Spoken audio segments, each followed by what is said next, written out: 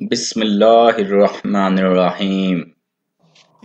देर से ही सही, मगर कुछ बनो, क्योंकि लोग खैरियत के साथ साथ हैसियत भी पूछते हैं।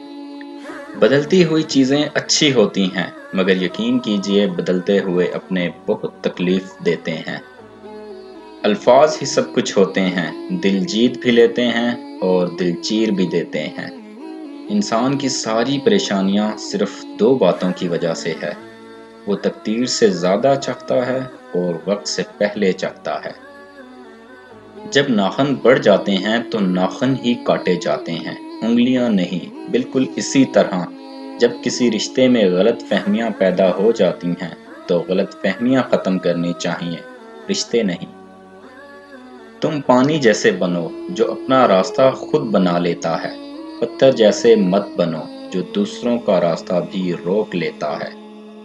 इंसान सब कुछ भूल सकता है, सिवाय उन लम्हों के, जब उसे अपनों की ज़रूरत थी और वो दस्तयाब नहीं थे।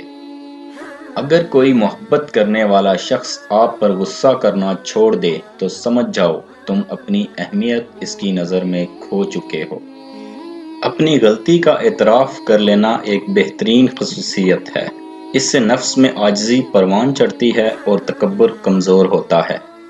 कोई तुम्हारा दिल दुखाए तो नाराज़ मत होना, क्योंकि कुदरत का कानून है, जिस दरख्त का फल ज़्यादा मीठा होता है, लोग पत्थर भी उसी को मारते हैं। जो शख्स अपने दोस्त को बुरे कामों से नसीहत के ज़रिए बाज नहीं रख सकता, वो दोस्ती के काबिल नहीं होता। माशरे पर तुम्हारा इससे बड़ा एहसान और कोई नहीं होगा कि तुम खुद समझ जाओ।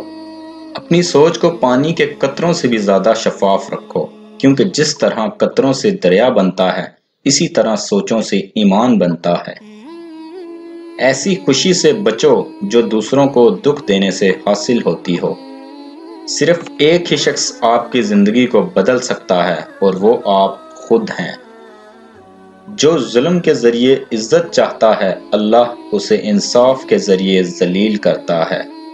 लोगों की गलतियों को इस तरह भूल जाया करो, जिस तरह सोते हुए दुनिया को भूल जाते हो। किसी को तकलीफ़ ना दो, ये ना हो कि इसका दुख आपकी दुआओं की कबूलियत में रुकावट बन जाए। मैंने लोगों को बहुत तोला नापा जांचा और परखा है, लेकिन जब मेरी अपनी बारी आई तो मुझे तराजू ही नहीं मिला, क्योंकि मुझसे अपने गिरेबान में झांका ही नहीं जाता। लोगों के सामने मुस्कुराते रहा करो और अल्लाह के सामने गिड़गिड़ा कर रोया करो, क्योंकि दुनिया मुस्कुराने वालों को पसंद करती है और अल्लाह रोने वालों को पसंद करता है। हम ऐसे ज़माने में जी रहे हैं जहाँ बेअदब लोग अदब पर बात करते हैं। बाहिम्मत लोग कभी हारा नहीं करते, या वो जीत जाते हैं, या कुछ सीख जाते हैं। दुनिया में सबसे मुश्किल काम अपनी इसलाह है। और सबसे आसान काम दूसरों पर नुकता चीनी करना है। बुरा वक़्त वो शफाफ आईना है जो बहुत से चेहरे साफ़ कर देता है और अच्छा वक़्त ऐसा बादल है जो तेज धूप को भी रोक लेता है।